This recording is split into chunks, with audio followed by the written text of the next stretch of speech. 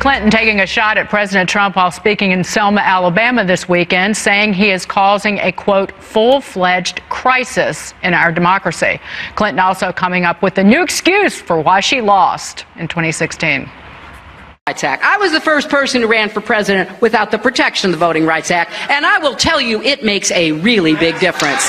It made a difference in Wisconsin, where the best studies that have been done said somewhere between 40 and 80,000 people were turned away from the polls because of the color of their skin, because of their age, because of whatever excuse could be made up to stop a fellow American citizen from voting.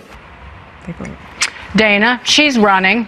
She's doing that accent. I don't think she's going to actually run for president, but I also feel like the right needs to pay attention to this, um, these arguments about voting rights because, um, one, people like her are going to rely on it to explain uh, why she didn't win. She, like, there's never been a thing from Hillary Clinton that said, I wish I would have done this. I wish I would have done that. It's always somebody else's fault, which I don't think is the best way to show leadership.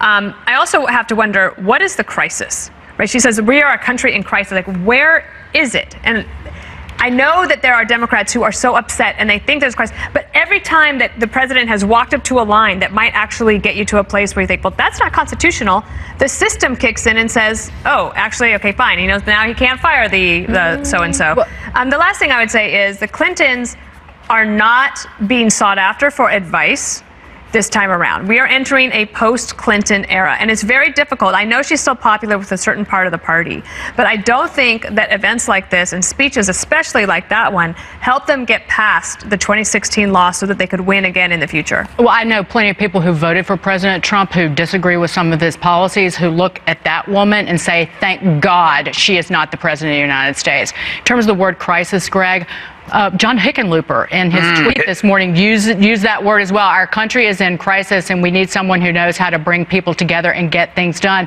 You don't tell people that if you're in a crisis, they either know it, and there's nothing going on in this economy that suggests that. Well, okay, so I hope, and it's not going to happen, that historians will look back at this era of, let's say, 2016 to 2024 and see a profound manipulative hallucination right?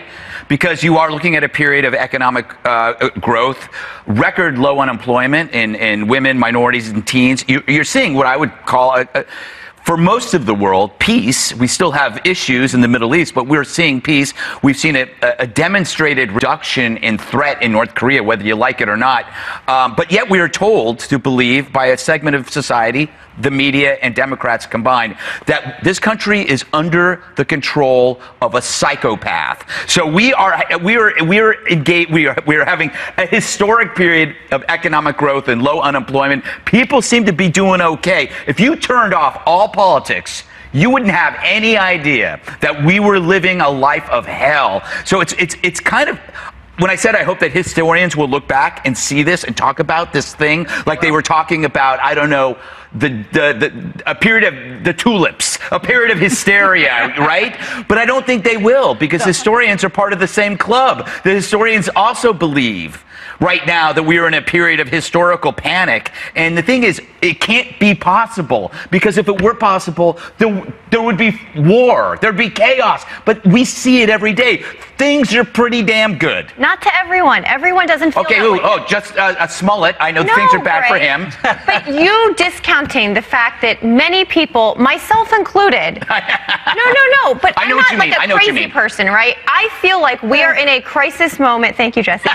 we are in a, I hope that got picked up by the camera. In a crisis moment where our institutions are being tested in ways we haven't seen in many, many years. They've held tested, tested institutions. Whoa. Okay, when you're the one on the